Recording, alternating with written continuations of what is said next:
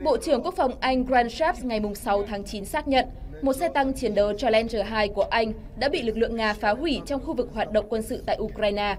Vị quan chức quân sự hàng đầu của Anh cũng nói thêm, London sẽ không gửi xe tăng mới để thay thế phương tiện bị phá hủy.